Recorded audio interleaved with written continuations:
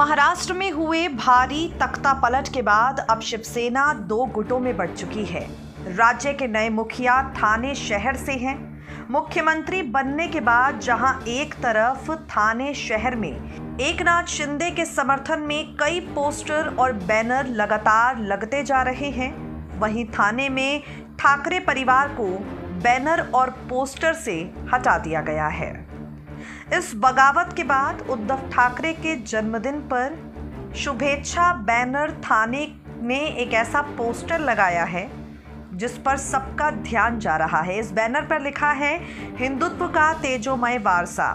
दरअसल ये बैनर थाने के सांसद राजन विचारे द्वारा लगाया गया है। 27 जुलाई, यानी आज शिवसेना पक्ष प्रमुख उद्धव ठाकरे का जन्मदिन है।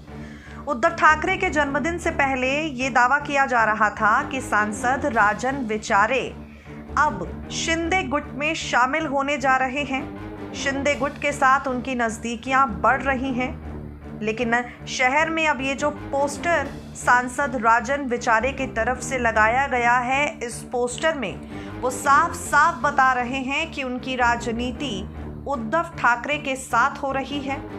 राजन विचारे को लेकर ये अटकलें लगाई जा रही थी कि वो बीजेपी और शिंदे गुट को मजबूती देंगे, उद्धव ठाकरे से अलग हो जाएँगे। लेकिन इस पोस्टर से राजन विचारे ने तमाम दावों को झूठा साबित कर दिया है और साफ़ साफ़ ये संकेत दे दिए हैं कि उनकी राजनीति भारतीय जनता पार्टी और एक नाथ शिंदे के लिए नहीं, बल्कि सीधे तौर से उद्धव ठाकरे और उनके परिवार के साथ है, उनके साथ ही रहेगी। नेक्स्ट नाइन न्यूज़ रूम की रिपोर्ट